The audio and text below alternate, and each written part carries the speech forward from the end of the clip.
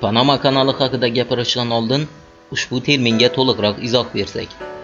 Panama atamasi 19-asrning 80-yillarining oxirlarida Panama kanalini qazmoqchi bo'lgan fransuz kompaniyasining barbod bo'lishi munosabati bilan vujudga kelgan. Ushbu termin 20-asrda tovlamachilarga nisbatan ishlatilgan. Panama 16-asrdan buyon Atlantika va Tinch okeani o'rtasidagi eng qisqa yo'l hisoblangan, ya'ni ulkan port mamlakat.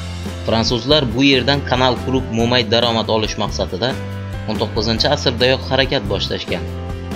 Suays kanalini qurgan fransuz kompaniyasi 1879-yilda injener Uaysdan Panama kanali loyihasini 10 million frankka sotib oladi.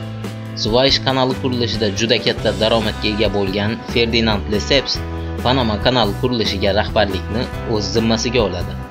Bu qurilish insoniyat tarixida eng ulkan inshootlardan biri edi. Lesepsting rejasiga ko'ra, qurilish 6 yil ichida 120 million dollar evaziga tugashi kerak edi. Loyiha uchun West India kompaniyasi va ko'plab investorlar borini tikishdi. 40 ming kishi ishtirok etgan kanal qurilishi 6 yil ichida tugamadi. Tropik kasallik va 65 kilometr tog'ni yo'l qilish osondek tuyulgandi Lesepsga. Qurilish davomida 22 ming kishi tropik kasallikdan vafot etdi. Kasallik qurilishni yillab ortga surib yubordi va pul tikkanlarning barchasi, ya'ni 800 mingta investor va West India inqirozga yuz tutdi. 1893-yilda Seps tovlamachilikda ayblanib qamoqqa olindi. 1895-yilda u qamoqxonada olamdan o'tdi. Buyuk kanalning buyuk qurilishi ana shunday yakun topdi. 1903-yilda Amerika Qo'shma Shtatlarining maxfiy yordami bilan Panama Kolumbiya tarkibidan ajralib mustaqil bo'lib chiqdi. Evaziga esa Panama kanali qurilishi va loyihani to'laligicha AQShga taqdim qildi. Bu oldindan rejalashtirilgandek va birinchi qurilish atayin tugatilgandek edi. Ammo tarixiy nuqtai nazardan kelib chiqadigan bo'lsak, 1903-yil 22-yanvarda Kolumbiya kanali qurilishi va umuman kanalni shartnoma asosida 100 yilga Amerika Qo'shma Shtatlariga ijaraga bergan. Xullas endi ikkita okeanni birlashtiruvchi yoki qisqa yo'l vazifasini o'tovchi ulkan kanal qurilishi Amerika Qo'shma Shtatlari qo'lida edi. Kanal qurilishi ikkinchi marta 1904-yilda boshlandi. Unga bosh muhandislikni John Frank Stevens o'z zimmasiga oldi.